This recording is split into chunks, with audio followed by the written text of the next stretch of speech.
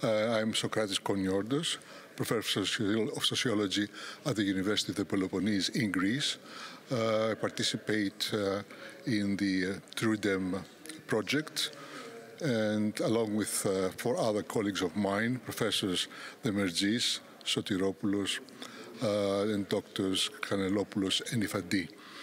Uh, our task is to look at uh, two, three actually crises as these have emerged in uh, Europe in the, over the last few years. The one has to do with the COVID pandemic, the other one has to do with the migration uh, waves and how these impact on the trust levels uh, in respect to trust in government, uh, trust in attitudes, the political field and also we have to uh, look at what, what is the impact of the ongoing process of digitalization of work uh, to trust levels.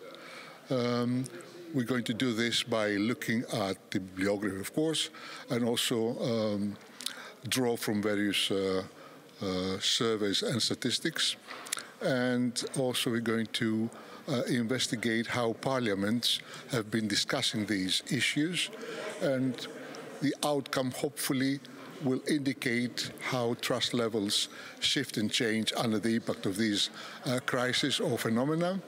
And this would be hopefully, um, we will discover, hopefully again, uh, ways to uh, uh boost up trust. Thank you very much.